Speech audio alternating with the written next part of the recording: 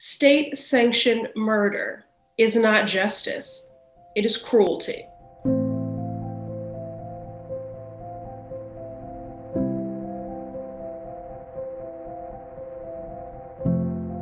The death penalty is not a deterrent, it is not a solution, and it cannot be reformed.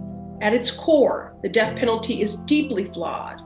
We must stop responding to trauma with more trauma it is incumbent on President Biden to take swift, decisive, and bold action. During his campaign, he told voters that he wanted to get rid of the death penalty, so it is our job to hold him accountable to that promise. The movement to abolish the death penalty will not be successful until Congress passes my bill with Senator Durbin, H.R. 262 will permanently end the death penalty once and for all. If we keep pushing, I'm optimistic that we will defeat the death penalty. So call your members of Congress and tell them to co sponsor the bill. It is time for the United States to join the majority of the world's nations and finally end capital punishment.